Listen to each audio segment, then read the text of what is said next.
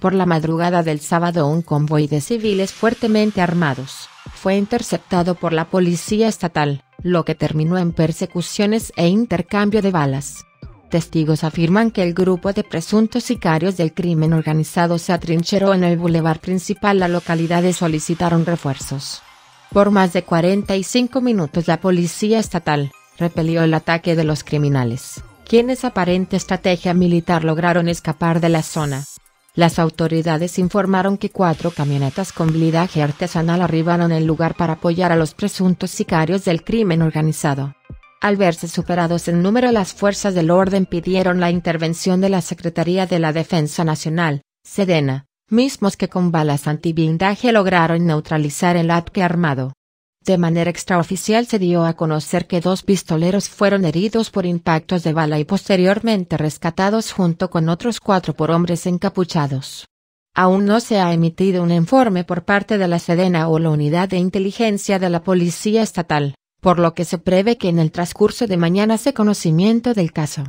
El sueño de los residentes del primer cuadro de la ciudad, fue interrumpido durante la madrugada del sábado, a causa de un enfrentamiento entre las autoridades civiles y militares que se toparon con presuntos sicarios del crimen organizado en pleno Boulevard Miguel Alemán, el cual quedó convertido en un verdadero campo de batalla por casi una hora.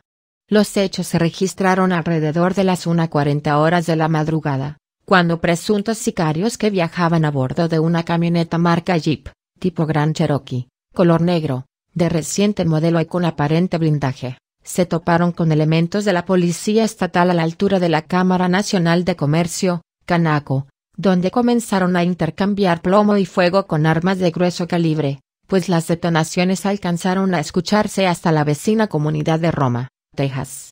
La unidad sospechosa en la que viajaban los delincuentes, fue neutralizada por los policías estatales, justo frente a la Canaco de esta localidad, hasta donde minutos después llegaron elementos militares en su apoyo, por lo que les disparaban por diferentes frentes. Sin embargo y después de más de media hora de intensa balacera, los delincuentes habrían sido rescatados y lograron escapar de las autoridades, pues no se reportaron personas detenidas, mucho menos abatidos.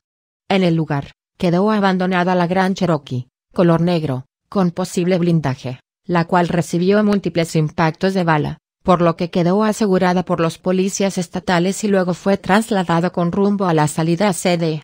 Reynosa, TAM, desconociéndose su destino final. Hasta el momento, no se ha emitido ningún informe oficial por parte de las autoridades civiles o militares involucradas en este nuevo enfrentamiento, el cual generó pánico y zozobra entre el grueso de la población que reside a la redonda y quienes vivieron momentos de gran preocupación.